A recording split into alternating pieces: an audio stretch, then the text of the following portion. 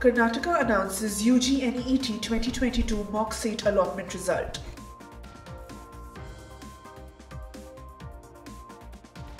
UGC handing out fellowship and scholarship amounts through DBT.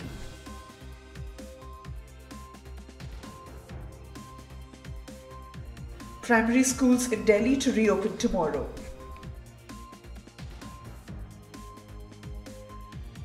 India informs China of new norms for Indian medical students studying in Chinese colleges.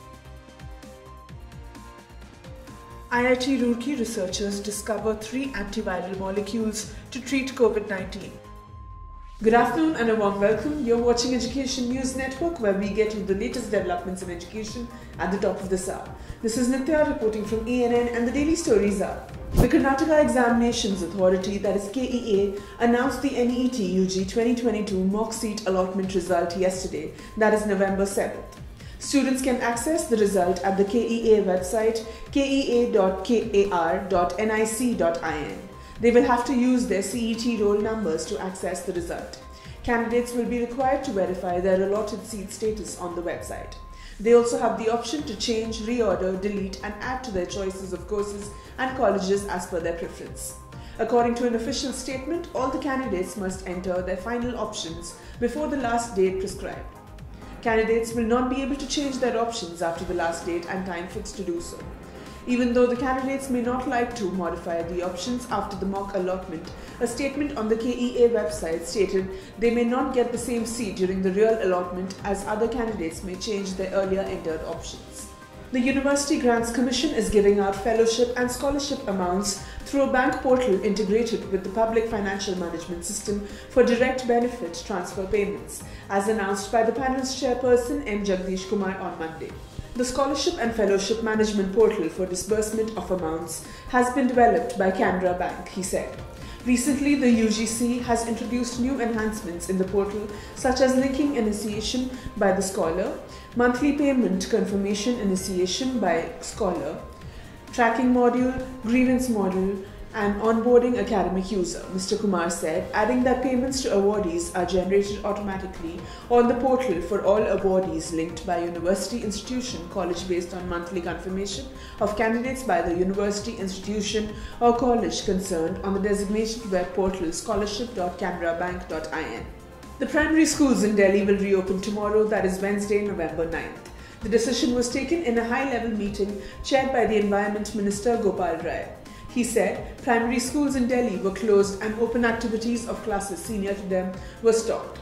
From 9th November, primary schools will open and the ban on open activities is being lifted. The Aam Aadmi Party government had announced the closure of primary schools and work from home for 50% of its staff as the pollution levels in Delhi reached the severe category on Friday. We are taking all steps to control the pollution situation.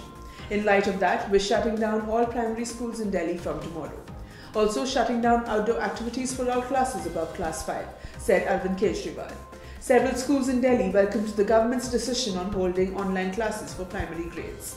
The National Commission for Protection of Child Rights had recently asked the Delhi government to shut schools until the city's air quality improves. India has informed China of the recent stringent regulations released by the National Medical Commission for Indian students studying in Chinese medical colleges to obtain permission to practice back home and asked authorities to ensure that the students are qualified to comply with the new rules. In September last year, the Indian Embassy in Beijing issued a detailed advisory for prospective Indian students wanting to study medicine in China, cautioning them of pitfalls, including poor pass percentage, mandatory learning of Putonghua, and strict norms to qualify to practice in India. According to official estimates, over 23,000 Indian students are currently enrolled in Chinese universities. A vast majority of them were studying medicine. After more than two years of COVID visa restrictions, China recently started issuing visas to select a number of students to return. Over 350 students have now returned to rejoin their colleges, according to sources. The Indian Embassy has issued a comprehensive advisory on September 10th highlighting stringent norms they face to qualify for practice in India, which included obtaining a license to practice in China.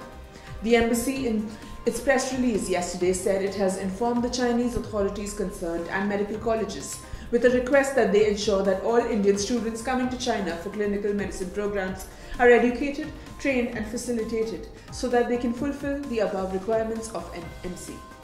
Any student who joins a clinical medicine program in China after November 2021 and fails to obtain a license to practice as a medical doctor in China will be rendered ineligible to appear for foreign medical graduate examination, it said. The students and their parents are requested to see the Gazette notification dated November 18, 2021 by the NMC. The embassy has also approached relevant Chinese authorities to confirm that Indian students can work in Chinese hospitals in a capacity such as assistant doctors. Another related query was whether Indian students can work in Chinese hospitals in a capacity such as assistant doctors after completing their medical education in China but fail to obtain a medical practitioner license in China so as to enable them to earn a living and pay back their education loans. In its advisory issued in September, the Indian Embassy said only 16% of the Indian students passed between 2015 to 2021 will qualify to practice in India. Researchers from IIT Roorkee have discovered antiviral compounds that can be used to treat COVID 19 infections successfully. Through medication repurposing, computational and antiviral experimental tests, the researchers discovered three such antiviral compounds. The COVID 19 pandemic forced the world to undertake both computational and experimental studies in order to comprehend the structure and makeup of the SARS CoV 2 viral proteins and create vaccines and treatments for it. To understand the atomic structures of the virus and the proteins that make up the virus, structure function studies are a crucial area of research. The Protein Data Bank, a database of the structures of proteins and viruses, is now accessible as a result of these studies. The PDB data bank is utilized by researchers all over the world to find new drugs.